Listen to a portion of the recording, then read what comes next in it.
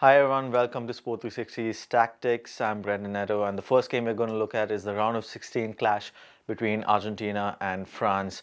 So, taking a look at Argentina first, Armani, I think he re retains his place. Caballero, unlikely to get his uh, place back after that blunder against uh, Croatia. Banega, I think he's going to be absolutely key. And Aguero up front instead of Higuain. We're going to come back to that in a bit.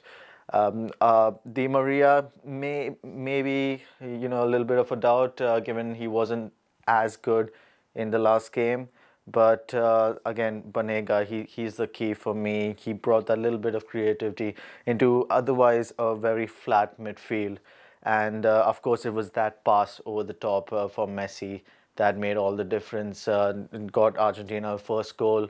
Pass, it, he was just in front of the halfway line at the time and a beautifully dinked uh, long ball over the top of defense. Messi, of course, did the rest with a beautiful first touch and good finish.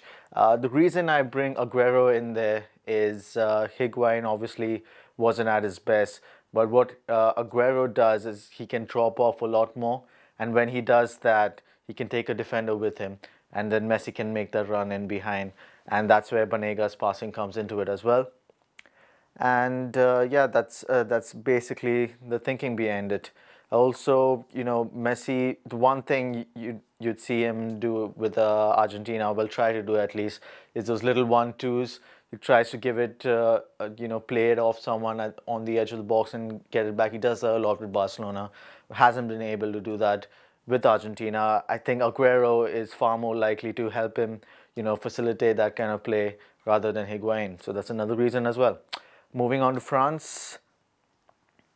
Yeah, now this is a very optimistic uh, lineup, I'd say. Didier Deschamps, as we know, a very defensive coach. Uh, I've gone with Sidibe to keep his place, but I think he may revert back to Pavard. The reason I go with Sidibe, though, is uh, even though he looked a little bit rusty in the last game, he does have the potential to get forward and deliver crosses in, and that's when the big man up front, Olivier Giroud, comes into play. So if, if you're not really going to use, you know, fullbacks who are going to get forward and cross the ball, then you might as well not even play Giroud. You might as well play uh, Griezmann up front and maybe Fekir in behind, who's always looked lively when he's come on. But anyway, I've gone with Sidibe for now. Uh, Pogba, of course, comes back in. Uh, a little bit more creativity than, of course, uh, Nzonzi would have offered in the last game.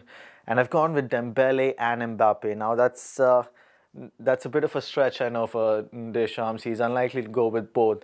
But the reason I've gone for them is uh, Argentina's fullbacks look really suspect. And I think this is where they can really get at them.